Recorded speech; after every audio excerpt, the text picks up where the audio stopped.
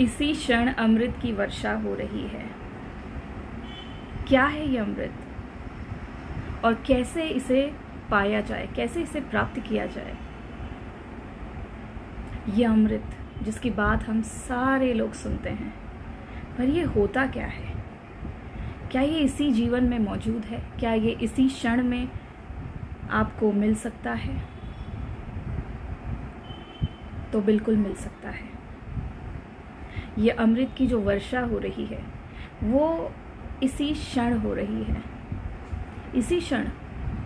क्या आप इस क्षण को देख पा रहे हैं?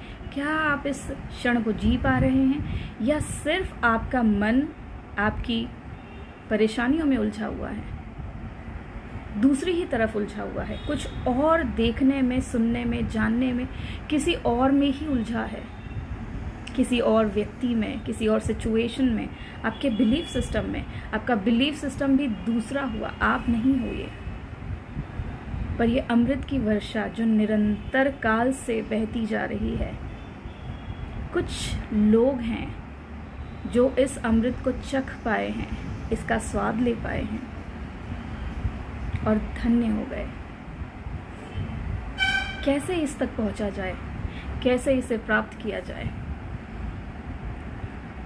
तो बड़ा ही सूक्ष्म विज्ञान है, पर कठिन नहीं है।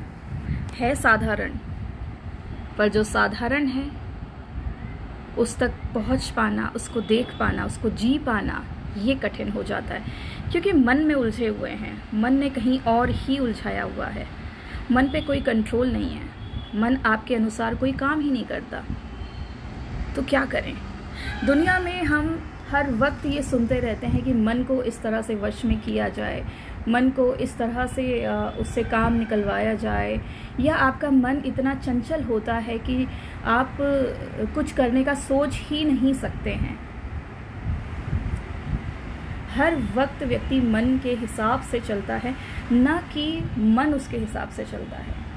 तो ऐसा क्या करें कि हमारा जो मन है, हमारे वश में आ जाए, हमारे कंट्रोल में आ जाए। क्या किया जाए? कैसे इस अमृत की वर्षा को महसूस किया जाए? कैसे इसे टेस्ट किया जाए? इसे कैसे चखा जाए? इसका स्वाद कैसे लिया जाए? मन के बारे में आपने बहुत कुछ सुना होगा। ऐसा करो, वैसा करो एफर्मेशंस दो कमांड्स दो, सारी चीज़ें। पर सबसे मुख्य, जो सबसे विशेष कर जो एक चीज़ है, शायद ही कोई बताता है। वो ये है कि अपने मन से किस प्रकार हमें बात करनी है।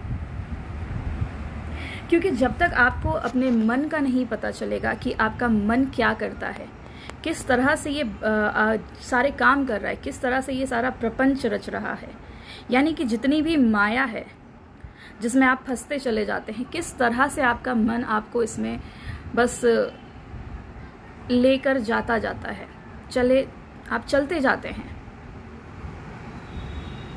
मन का स्वभाव समझना बड़ा ही आवश्यक है। मन का स्वभाव आपको तब तक नहीं समझ में आएगा। आप कमांड्स दे देंगे, आप एफर्मेशंस दे देंगे। आप किसी से कुछ सुन लेंगे कि ऐसा करना चाहिए, वैसा करना चाहिए। आपने कर भी लिया। कुछ वक्त लगेगा कि कुछ काम हुआ, फिर से आप फिर फंस गए। पर ऐसा क्यों होता है? कि आप बार बार फंस जाते हैं?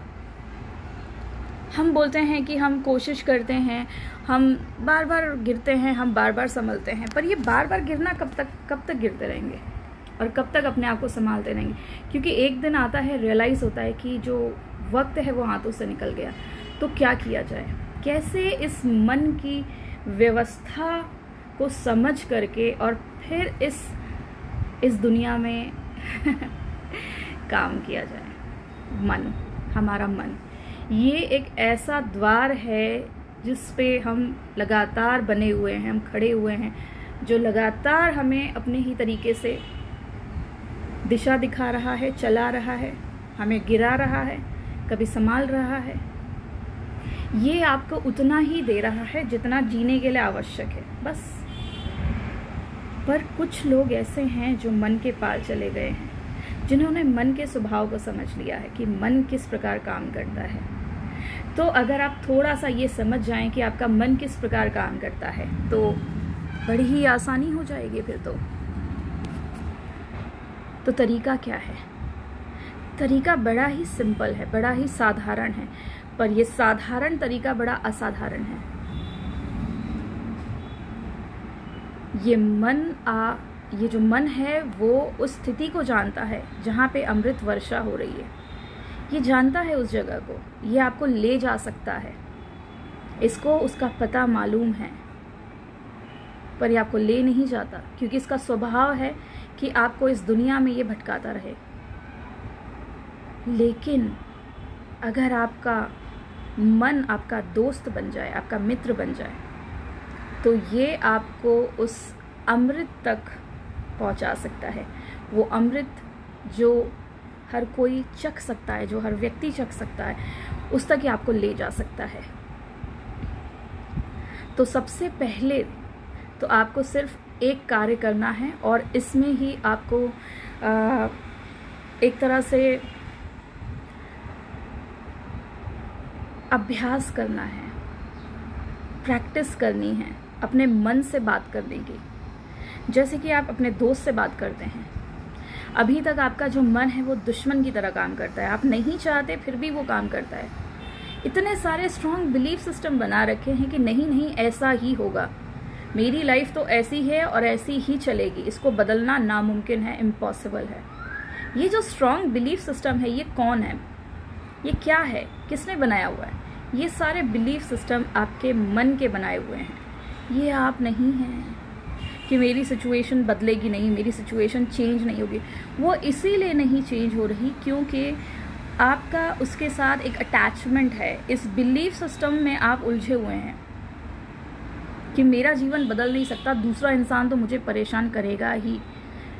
मेरी लाइफ नर्क बनी हुई है, निकलना मुश्किल है। कैसे निकलें, क्या करें?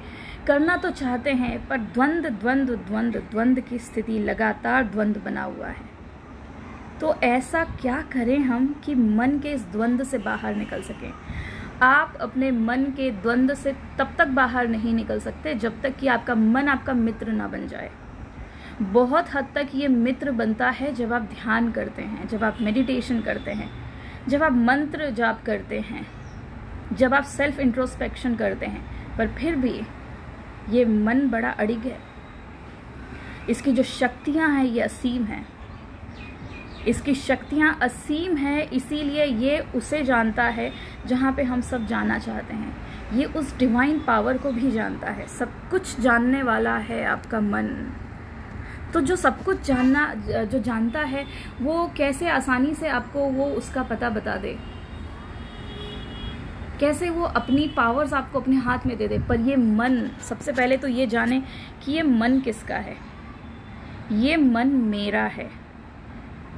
तो ये मन मेरा दोस्त है, ना कि दुश्मन। सबसे पहले तो ये जाने कि ये मन मेरा है। उसके बाद हमें अपने मन से बातचीत करना शुरू करना है। आपको डेली इसका अभ्यास करना है। पाँच मिनट बैठ जाइए, सबसे पहले पाँच मिनट से शुरुआत कीजिए और हर रोज़ अपने मन से बात करना चालू कीजिए। जैसे कि किसी और व्यक्ति से करते हैं, जैसे अपने मित्र से करते हैं, अपने फ्रेंड से करते हैं। कि आज ऐसी सिचुएशन हो गई, क्या करना चाहिए? आज ये ठीक नहीं हुआ, ऐसा क्यों हुआ? क्या इसको हम बदल सकते हैं? क्या कुछ और कर सकते हैं? अच्छा ठीक है। मुझे नहीं समझ में आ रहा कि तुम मेरी बात सुन रहे हो कि नहीं सुन रहे हो। आपका मन हर वक्त आपको सुन रहा है। वो जवाब कभी नहीं देगा, पर अपने तरीके से आपको ज़रूर बता देगा। वो सिचुएशन क्रिएट करना जानता है वो रियलिटीज़ को चेंज करना जानता है। यानी कि अगर दुख की स्थिति है कोई स्थिति है जो आप नहीं चाहते आपके जीवन में हो तो वो उसे बदलना जानता है। वो उसे चेंज करना जानता है आपकी परिस्थितियों को बदलना जा, जानता है चुटकियों में बदलता है। चुटकियों में बदलता है। चुटकियों में बदलता है। शर्त इतनी है कि आप अपने मन से बात करना सीख जाएँ। जिस दिन बात करते करते अभ्यास करते करते आप अपने मन से दोस्ती कर लेंगे, ये सबसे सिंपल, साधारण, आसान तरीका है। अगर आप ये करना सीख गए तो आपका जीवन बदल जाएगा। आपको मन का पता चलेगा कि किस वक्त आपका मन एक स्टोरी सुनाता है, जिसमें आपको फंसाता है। जैसे कि फॉर एग्ज़ाम्पल आपके घर में आपका बच्चा है, वो बीमार हुआ। तो मन ने स्टोरी सुनाना चालू कर दिया। पिछली पास्ट मेमोरी से रिलेटेड आपको बताने लगा कि ये तो हो सकता है कहीं ज़्यादा बीमार ना हो जाए, कहीं हॉस्पिटल ना ले जाना पड़े, उनके साथ ऐसा हो गया था, कहीं इसके साथ भी कुछ गलत ना हो जाए। एक श्रृंखला सी चला देता है। पर जो व्यक्ति अपने मन के प्रति अवेयर होता है, जागरूक होता है, सतर्क होता है अलर्ट होता है, जो देख सकता है कि मेरे मन में ये स्टोरी अभी उठी है अब आप इसको स्विच कर सकते हैं, अब आप इसको बदल सकते हैं। कैसे बदलेंगे? कि ये जो तो तुमने स्टोरी सुनाई है, अपने मन से बात करें, ये जो स्टोरी तुमने सुनाई है, ठीक है ओके उसको रिजेक्ट नहीं करना है। उसको एक्नॉलेज करना है, उसको बोलना है कि ठीक है, तुमने ये स्टोरी सुना दी है पर क्या हम इसको दूसरे तरीके से कर सकते हैं? क्या ये जो ये जो सैड एंडिंग है, इसको हम हैप्पी एंडिंग में बदल सकते हैं? आप देखिए कि आपका मन तुरंत उस पर काम करना चालू कर देगा। ये बहुत बड़ा राज है। अगर आप इसको कर लें, आप इसमें अभ्यास अपने आप को कर लें, आप प्रैक्टिस कर लें, आप जान जाएँ, चमत्कार हो जाते हैं। तुरंत आपका मन उस सिचुएशन को क्रिएट करना चालू कर देगा, जो कि हैप्पी एंडिंग वाला है, ना कि सैड एंडिंग वाला। यानी कि किसी को आपको ठीक करना है। तो आप ठीक कर सकते हैं, अपने मन से बात करके, अपने मन से बात करके आप दूसरे व्यक्ति को भी ठीक कर सकते हैं, अपनी सिचुएशन को ठीक कर सकते हैं कि मेरी करंट सिचुएशन ठीक नहीं है, मुझे उससे बाहर निकलना है। बताओ मुझे, कुछ करो इसके लिए, उसको तुरंत काम पे लगा दो।